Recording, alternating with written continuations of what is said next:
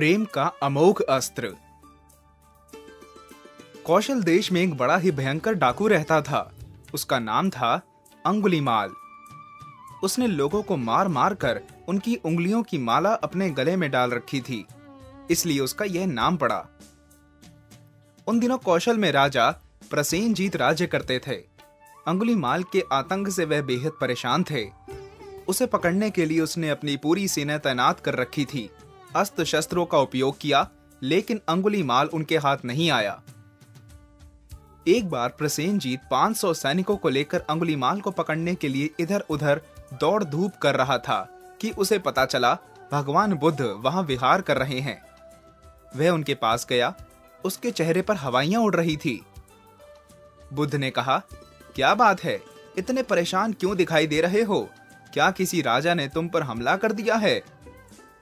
प्रसेनजीत बोला, भंते, किसी ने हमला नहीं किया। मेरे राज्य में अंगुलीमाल नाम के डाकू ने तबाही मचा रखी है। मैं उसी को पकड़ने की दिन रात कोशिश कर रहा हूँ। बुद्ध ने मुस्कुराकर कहा, वह तुम्हारी पकड़ में नहीं आता। अच्छा यह बताओ कि यदि वह धर्मात्मा के रूप में तुम्हारे सामने आए तो तुम क्या करोगे?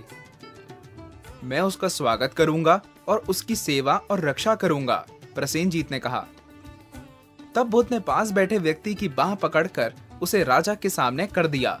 बोले, यह रहा अंगुली माल। प्रसेन जीत को काटो तो खून नहीं। वह थर थर कांपने लगा। बुद्ध ने कहा, राजन, अब तुम्हें इससे डरने की आवश्यकता नहीं है।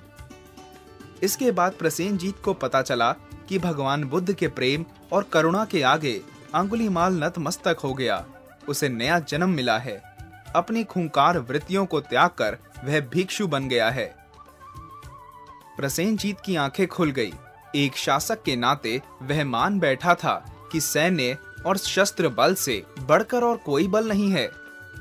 आज उसे मालूम हुआ कि प्रेम का मुकाबला दुनिया में कोई ताकत नहीं कर सकती।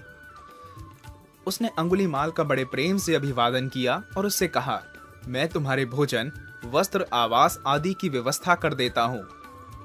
अत्यंत विनम्र भाव से अंगुली मार बोला, राजन, आप चिंता ना करें, मुझे सब कुछ मिल गया है। प्रसेनजीत की आँखें डबडबा आई और वह श्रद्धा से अवनत होकर वहाँ से चला गया।